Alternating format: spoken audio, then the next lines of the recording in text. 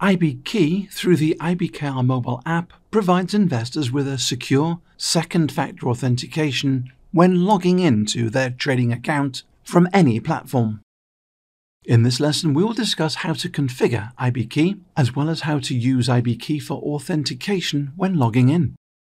To use IBKey, investors must have facial recognition, fingerprint, or passcode security enabled on their phone.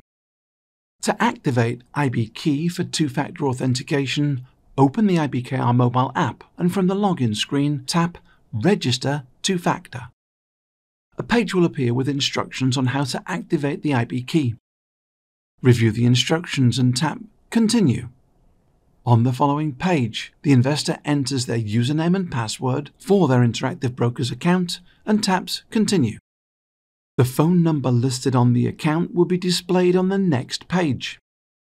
The investor can review to ensure the phone number displayed is their accurate mobile number or add a mobile number and then taps Get Activation SMS. An SMS message will be sent to the investor's mobile phone with an activation code.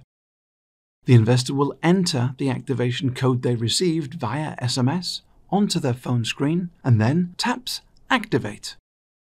Lastly, the investor will be asked to enter their facial recognition, Touch ID, or passcode to complete the activation. Once IBKey has been activated, investors can use it to securely log into Client Portal, Trader Workstation, and manage their IB Debit MasterCard. To use IBKey with Client Portal or Trader Workstation, the investor will first enter their username and password credentials. In this example, the investor will log in to the Client Portal. Once the username and password has been entered, a screen will be displayed that says open the IBKR notification on your phone, and the investor will receive a push notification on their phone. The investor taps the notification on their phone and an IB key screen will pop up. Tap Authorize and IBKey will require facial recognition, Touch ID, or passcode to complete the authentication. If authentication succeeds, the login process automatically continues. If the investor did not receive the notification, they can select Resend Notification and the push notification will be resent to their device. Alternatively, they can choose Login with QR code. A QR code will appear on the screen which the investor will scan using the camera app on the device where IBKey is configured.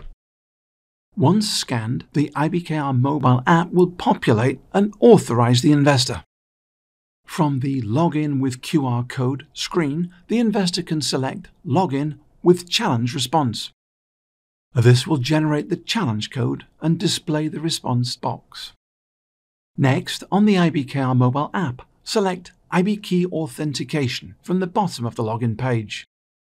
The next page provides the investor with a challenge entry field where they will enter the second factor authentication challenge code displayed on their computer screen tap Generate Passcode, and a response string will be displayed on the phone, which can then be entered in the text entry field on the computer. If authentication succeeds, the login process automatically continues. If investors have purchased a new phone or reinstalled the IBKR mobile app, they can reactivate two factor authentication using the steps outlined in our user guide.